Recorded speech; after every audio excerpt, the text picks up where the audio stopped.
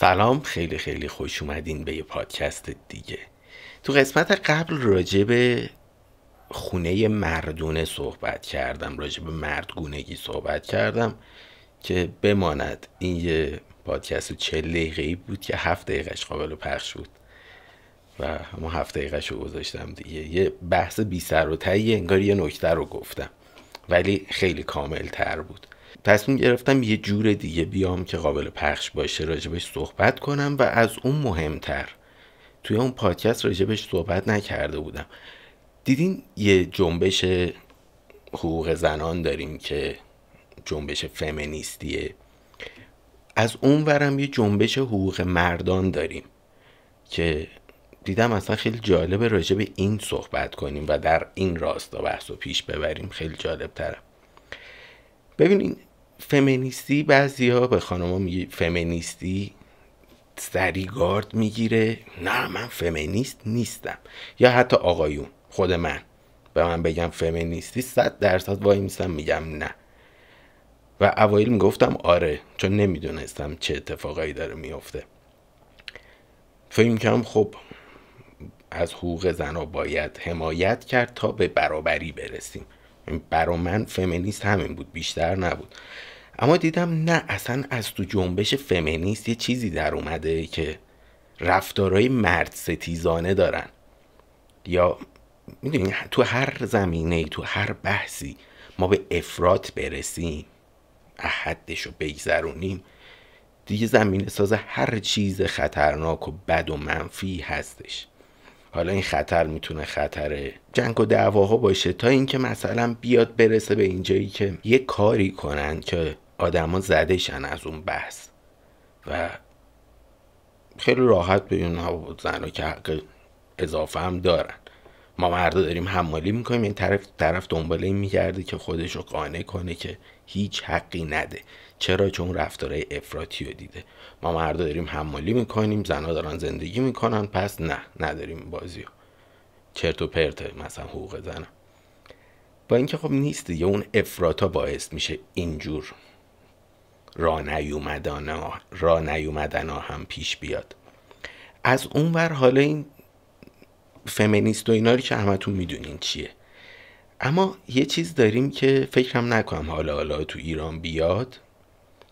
چون کلا بحث نسبتا تازه ایه راجع به حقوق مردا صحبت می‌کنه که اینا یه سری سیگنال ها دارن یه سری علامت ها دارن که اینا رو میشنوی احتمالا داره از اونجا میاد. از جمله همین خونه مردونه ای که من گفتم. خونه مردونه یه دونه از بحثای ایناست که معتقدن یه مرد. تا وقتی تنهاست مثل یک مرد زندگی می‌کنه و این مثل یک مرد یعنی خیلی دیگه با افتخار و اینا. و وقتی که ازدواج می‌کنه زندگی زنونه میشه. یعنی اینجا باز با تحقیر داره میگه زنونه میشه. همچین قشنگ صحبت نمی‌کنه. واقعیت داره تا یه جایی اما افتخاری توش نیست. فقط می‌تونیم بفهمیم که این خونه مردونه است یا زنونه است. بیشتر نه. یعنی نه این افتخاره نه اون بی افتخاریه. اتفاقا خونه ای که زنونه باشه به قول اینا خیلی سالمتره جای سالمتریه برای زندگی کلا.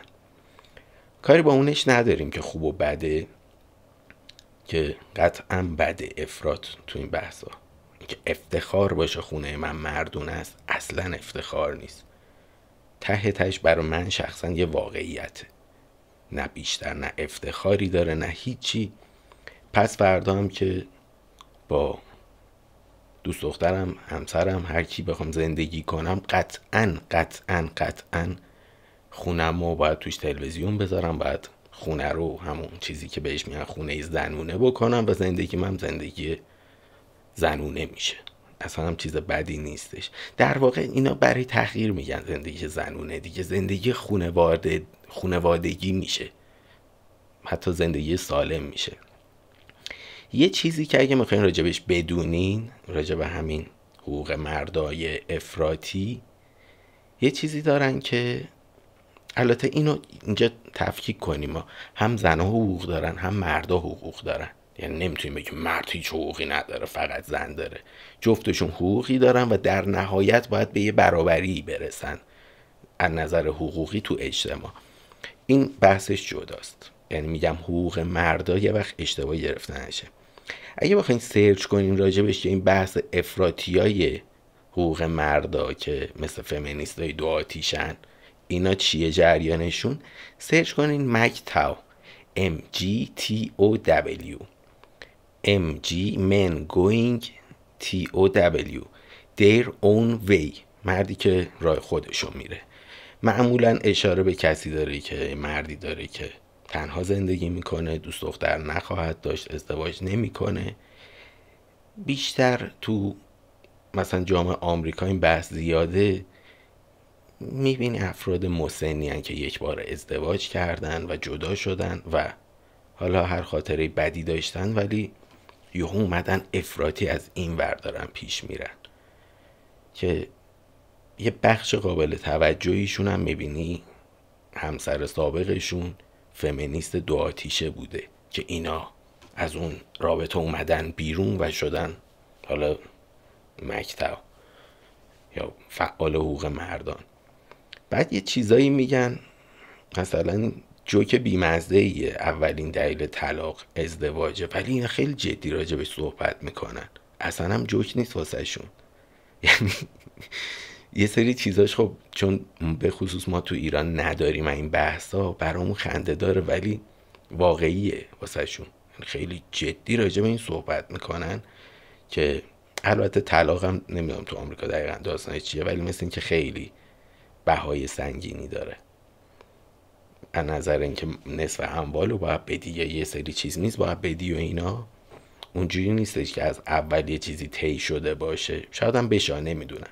ولی خیلی مینالن از این موضوع و اینو مثلا یه دونه چیزا میدن خیلی بحث های پیچیده زیادی داره و وقتی بحث مکتاو میشه وقتی بحث از زندگی مردونه با افتخار و خونه زنونه مثلا تحقیرآمیز میشه اینا همه علامت و سیگنال های همون فرهنگ این بازی است که همونقدر چیز بدیه همونقدر چیز آسیب زننده ایه که فمینیست های دو آتیش آسیب زننده. در حد تعادل اوکی ولی اینکه تو تصمیم گرفتی به عنوان یه مرد تنها زندگی کنی بعد بیا اینو شروع کنی تبلیغ کردن ترویج کردن بعد حالا یه حزب جدیدم اینجا درست شده. حالا بیا این دو آتیشه های اینو جمع کن. نمی‌دونم کسایی که نصف نیمه این مکتب رو می‌خونن و جوگیر میشن حرکات ناخوشایندی می‌کنن. کلا چیز جالبی نیست دیگه. خیلی افراد هیچ جورش خوب نیست و این چیزا دقیقا افراد میاره. چه راجع به حقوق زنها باشه چه مردا باشه. باید تعادل رو توش آدم حفظ کنه. البته تو ویدیوهای قبل یه بحث مردگونگی هم بود که اون مردگونگی در نهایت کمک می‌کنه که یک مرد برای دوست دخترش پارتنرش همسرش جذابتر باشه. حتی به صورت غریزی حتی اگه از پارتنر بپرسی چیه این جذابه واسط میگه نمی‌دونم. یعنی یه چیزی کاملا تکامل غریزی مونه یه جورایی. و اون خیلی فاصله داره از این بحث حقوق مردان و اینا. اینا اصلا نباید با هم قاطیشه. حالا توی اون ویدیو این دوتا کنار هم قرار گرفت اتفاقی ولی اینا خیلی با هم فرق داره. این مردگونگی دقیقا کمک می‌کنه به یه زندگی مستحکمتر جالبتر جذابتر اما اون داستان نزیاد نزیاد که نه اصلا. یعنی کلا تشویق می‌کنه به ازدواج نکردن دوست دختر نگرفتن رابطه عاطفی نداشتن و اینجور داستان ها یعنی کلا انگار با دشمن طرفی. یه سوء استفاده و خدافز و احمقی اگه دل بدی. خیلی ها تو صحبت ها میگن دل نده فلان. ولی اونا روی یه بحث دیگه ای دارن دل نده رو میگن. این مکتبی ها اینا از روی داستان دیگه دارن اینو میگن و خیلی متفاوته و این خطرناکه. حالا اون مهم نیست اون اصلا مهم نیست. چون ته تهش بالاخره یه آدم لایقی پیدا میشه و دل میده فلان. حالا مهم هم نیست اصلا نمی‌خوام بگم الا و بلا همه باید ازدواج کنن همه باید پارتنر داشته باشن. خیلی مثل خود من تنها راحتم. ولی این که من بخوام بیام دلیل بیارم که چون من اینجوری راحتم تو هم باید اینجوری راحت باشی این دیگه میره تو جاده خاکی. هممون آله عاقلیم با بالغیم. تجربیات خودمون رو تو زندگیمون کسب می‌کنیم و طبق شرایط خودمون تجربیات خودمون وضعیتی که داریم شرط زندگیمون تصمیم می‌گیریم که چه شکلی زندگی کنیم. و اصلا تبلیغ کردنی نیست به نظر من. هر کسی باید شرط زندگی خودش رو بسنجه و بر اساس اون زندگی کنه. یعنی زور چپون بخوایم بهش بگیم بیا ازدواج کن. غلط اندر غلطه. به جز آسیب و چیزای منفی تو جامعه اضافه نمی‌کنه. از اون ورم حالا بیایم بگیم نه آقا سینگل و گور باید بریم جلو. اون هم چیزی اضافه نمی‌کنه در نهایت. پس خواستین راجع به این داستان مرد رو سرچ کنین. MGTOW مکتاو شاهین اومد. دوستتون دارم تا پادکست بعد خداحافظ.